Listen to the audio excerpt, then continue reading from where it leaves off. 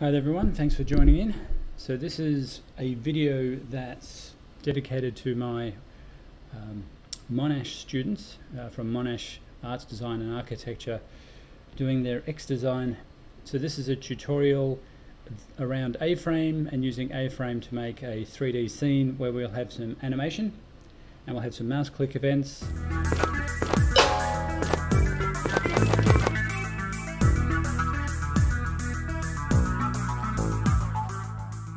Using the entity component system of A-frame. So A-frame's quite a nice 3D, a web GL 3D framework that has its own entity component system, but it builds on top of Three.js for rendering and actually doing the WebGL. So just to give an overview what this is about, this is a top-down view and an elevation view or front view. In the top-down view, we can see we have one, two, three, four spheres the spheres will be eventually made to bounce. We'll have these uh, sort of boxes that are designed to be more like obstacles or just furniture in the scene. And eventually we'll add, there's a nice environment add-on component for entity, so for um, A-frame, which lets you have you know nice horizon background and, and sort of configures a nice floor for you and things like that. And there's presets and you can do all sorts of interesting things with it.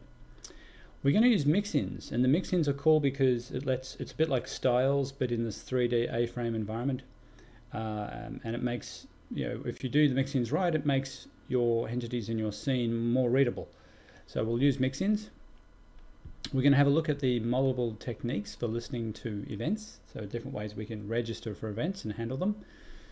Um, so one way is using traditional, you know, web type programming where we have a handler uh, we'll have um, uh, basically we'll have a function that goes through and finds all the all of the um, uh, all the entities or the elements in the scene that need to have this handler added to it, and we'll um, you know it could use an ID for instance, um, or we'll use a class because we'll have a group of them. So a class is actually the better way of doing it in this case because we have four spheres.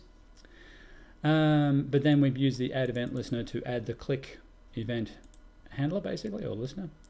Um, and then finally we need to make sure that this function gets called when the scene is loaded into the browser. So that's the main idea of how this pure web way works. And another way is using an on-click component.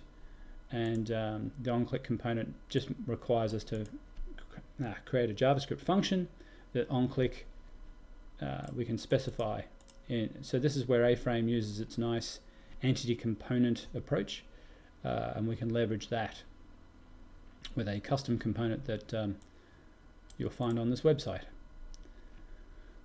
Okay, and this is what the mix-ins look like. So we can have uh, red color, green color. Um, in fact, rather, this is you could, for instance, have a like here. This is going to change the material color based on um, how you configure the mix-ins. So you know, this is where mix-ins are, are pretty cool because we can pre-configure how the on-click event will work and then we can attach this mix into any entity in the whole scene. Okay, so let's um, let's have a go at this. Okay, so as we can see here, this is the this is the design we're going to use um, to set up our mixed in uh, mix-ins. So let's get on with that now.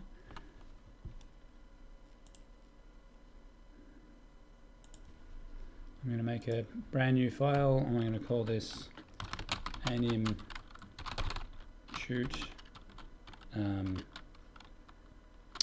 call it web for the web style of using H, uh, sort of regular add event listeners. Okay, so first of all, let's make an HTML document. Uh, we'll need a head section, and we'll need a body, and then we'll need an a scene. And here we'll need a whoops, script source. Now let's go find that source. So okay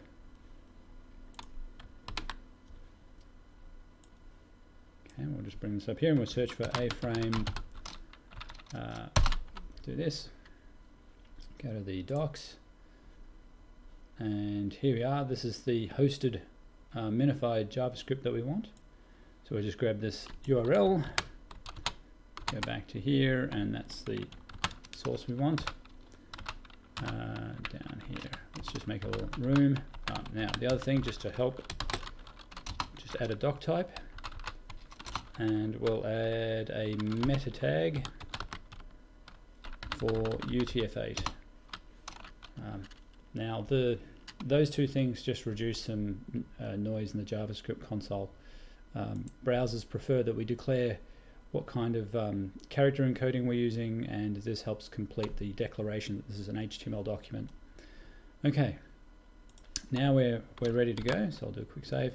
Let's now declare for our assets, the assets are part, sorry, the mixins, mixins are part of assets, so we have to declare assets first. A assets, now we can have a mixin. Okay, so with our mixin, we, we need an ID and then which is like the label or the name of the mixin. Being an ID just like in HTML that has to be unique. Um, so what we're going to do here is we're going to set up according to our design. So these are like far left. So it's the far left circle. The far right we have a near left and a near right and a mid uh, sorry the far right is a box and this uh, near left is a box so those two we'll call them boxes so we're going to lay out four sphere positions and two box positions and then we'll have a camera. Okay, so so let's put a comment here. This is going to be the uh, sphere positions. So this will be, say, far left, left pos, position equals, this time with an n. Okay, so for instance, that's minus 5, 1, minus 5. Well, let's just make a copy, make four of those. So the top one is minus 5, 1, minus 5. Then for the mid position, minus 1, 1, 0. So mid, mid pos, minus 1, 0, 1, no, hold on. Yes, and 0. Uh, the next one would be near left. Pos.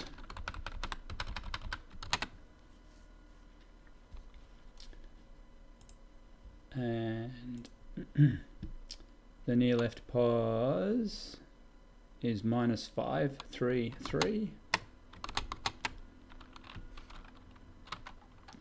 Pos minus 5, 3, 3. And it's so th these of course are X, Y, and Z. So the near left one is sitting on top of a box. So that's why it's uh, 3, so it's, it's up a bit. Okay, and this is the near right. Near right is 2.5, 1.5, 2.5. So this is near right pos.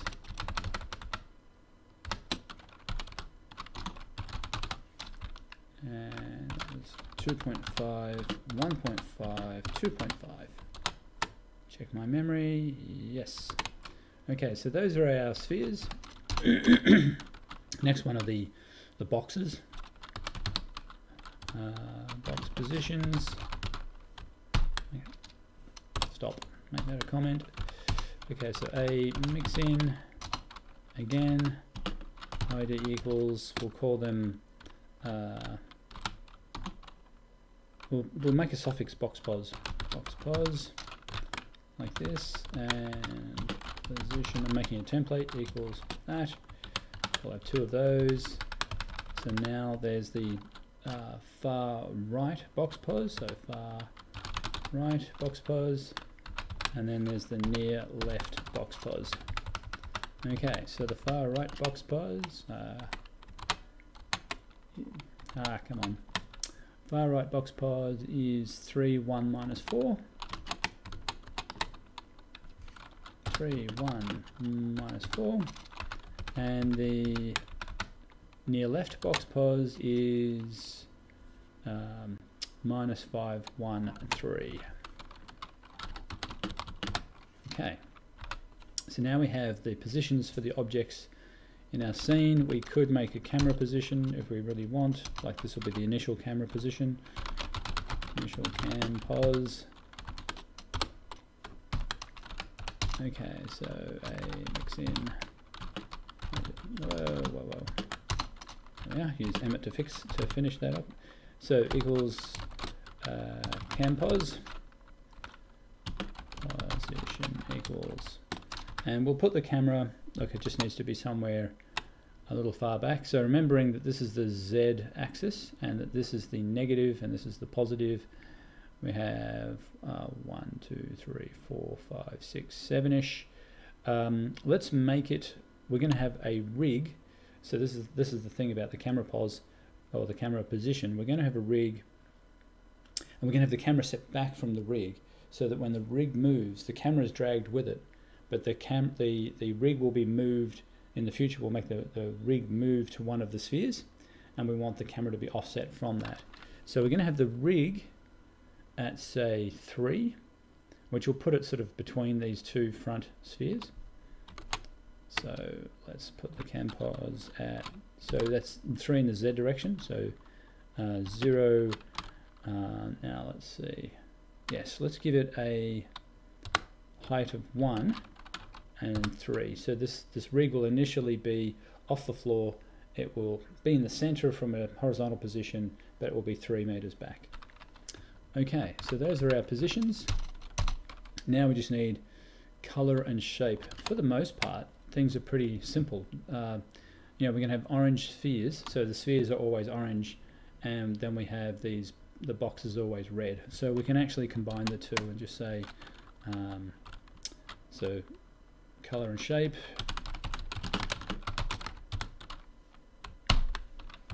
Mix-ins, so a mix-in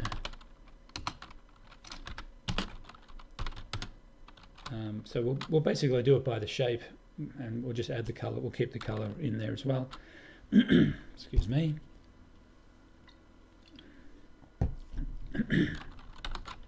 so if we have um,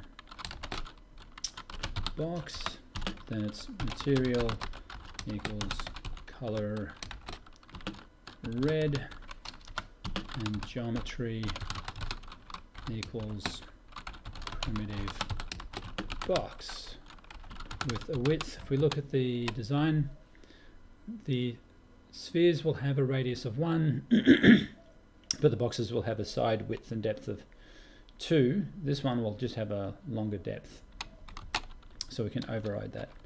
So it'll have a width 2, height 2, depth 2. Okay, so that's that. And then we make another mix in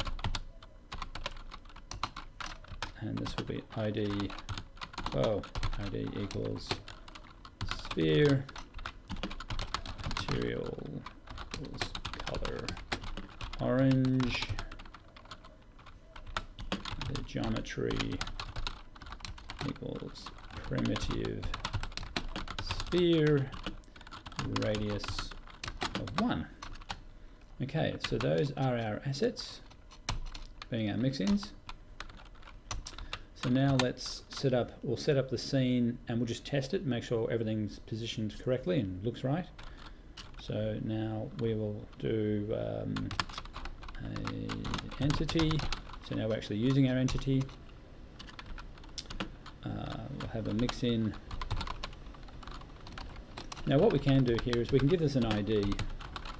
For instance, so if we make this far left, which matches the design and so this will be the F left pos um, sphere okay and so that gives it position um, geometry so the F left pos is the position and the sphere is the color and geometry so we can now make a few of these so we have F left we'll make this one um, mid so this will be mid mid pos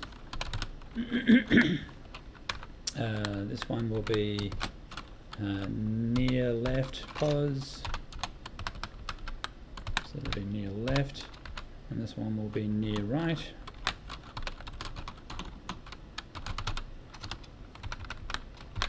So it'll be in right pos. Okay, and then we'll set up our boxes.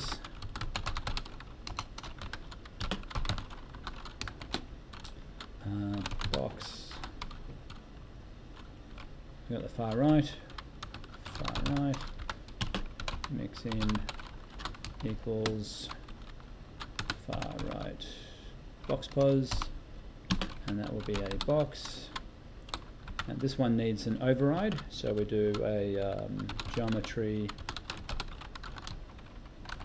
and it only needs the depth to be 4. Depth 4, so that satisfies that. And then we do another entity,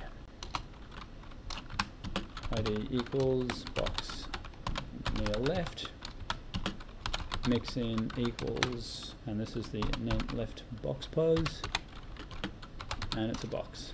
And that's all we need. So here you can see a few things straight away. Um, so here we have our, this is, this mix in here, this is the, in the entity we're saying we want to have, this is a mix in component. It will merge these together to combine the position and the geometry and color to, to create this object here, like to attach the, the components that are defined by these mix-ins onto this entity. So remember, it's entity component system. Uh, we have, you know, our four spheres defined here. We have our two boxes defined there. Um, so it's a very simple way to declare your scene, and it's fairly readable.